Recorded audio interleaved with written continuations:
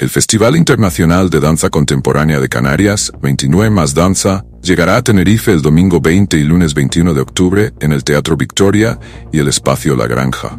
Ambos espacios presentarán solos y dúos coreográficos de artistas de países como China, Corea del Sur, Francia, Alemania, Chipre, Italia y España. Las funciones incluyen piezas como De dónde vengo, Fan-Made y Simposio. El evento busca conectar al público con la danza contemporánea a través de una variada programación internacional.